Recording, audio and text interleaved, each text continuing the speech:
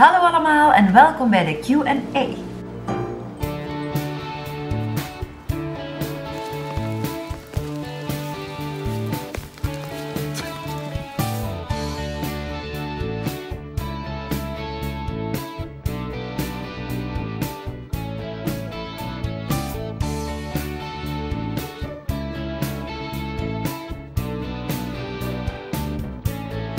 Ik heb heel veel vragen van jullie gekregen en ik heb die een beetje gebundeld. Dus ik heb de belangrijkste eruit gehaald. Er zijn ook heel veel zelfde vragen teruggekomen.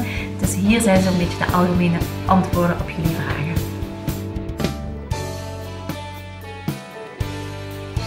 Ik word op 4 november 31 lentes jong. In het middelbaar heb ik eerst ASO gedaan voor drie jaar en dan ben ik overgeschakeld in het vierde middelbaar naar de kunsthumanioren en heb ik woordkunst drama gestudeerd.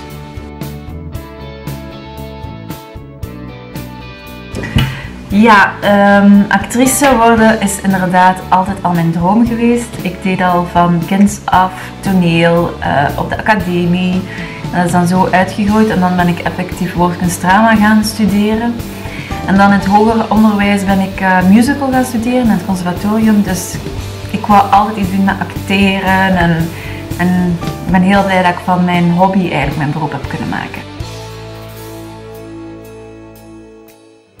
Ik heb ook heel veel vragen gekregen over thuis en over de afleveringen die onlangs geweest zijn op televisie.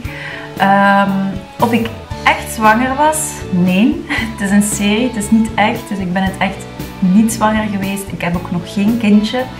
Uh, dit is allemaal, uh, dus het kindje is ook van iemand anders. Um, hoe lang ik al speel bij thuis was ook een vraag. Dat is ondertussen in december gaat het vier jaar zijn. Tijd gaat snel. Uh, en ik doe het nog altijd heel graag. Ik speel mijn rol nog altijd heel graag. Mensen vragen ook, een van de vragen was ook of dat um, ik gelijk op mijn personage. Um, en ik moet zeggen dat in het helemaal in het begin totaal niet. Maar geleidelijk aan, doordat Tamara veel heeft meegemaakt, um, is hij ook verzacht in het personage. Nog altijd met het hart op de tong wel. Ik heel fijn vind nog altijd.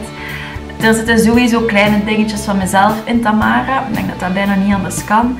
En toch blijft het een groot onderscheid. Ook alleen al in kledij en uh, hoe ze zich gedraagt is anders dan mij. En dat vind ik heel fijn. Want mensen die mij op straat tegenkomen herkennen mij wel, maar zien ook wel dat ik een heel andere stijl heb en dat ik anders overkom. En uh, het is heel leuk om dat onderscheid te hebben. Um, er zijn ook mensen die vragen hoe lang het duurt om um, een aflevering op te nemen. En meestal zijn er zo een uh, ja, zeventiental scènes in een aflevering. En voor één aflevering duurt het ongeveer een half uurtje om dat op te nemen. Dus reken er maar uit.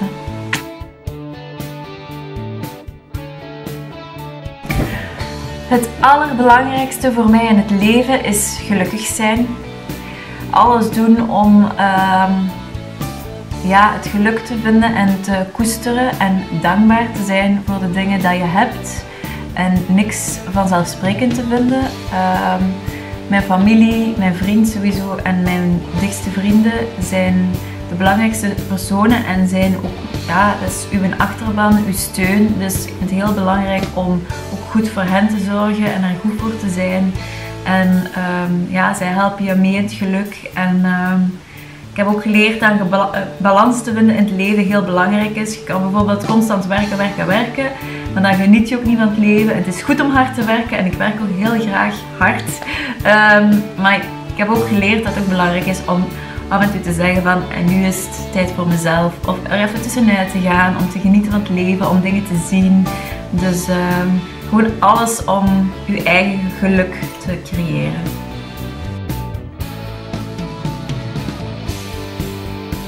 Yes, ik heb ook nog andere jobs naast thuis. Um, nu momenteel ben ik vooral ook bezig met theater. Volgende week, dat is 14 september, gaat um, Service Flat, een comedie waar ik in meespeel, in première. En dan doen wij een tournee over heel Vlaanderen. Dus heb je zin om te komen? Dat kan. Dan kan je nog tickets boeken op www.prithuis.be.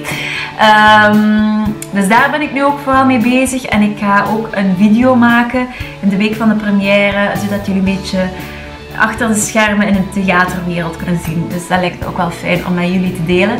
Ehm, dus daar ben ik nu heel erg mee bezig en dat neemt eigenlijk ja, thuis en dat, dat is bijna 90% van mijn tijd dat daar nu in, gestoken wordt. Um, en daarna heb ik soms losse opdrachtjes um, of is een samenwerking met een bepaald, bepaald merk of zo, dat doe ik soms ook. Oké, ik ga de video hier afronden. Ik heb op de meeste vragen algemeen geantwoord, want ik heb heel veel dezelfde vragen gekregen. Dus ik hoop dat jullie daar iets mee zijn. En dan neem ik jullie volgende week mee achter de schermen in het theater. Tada!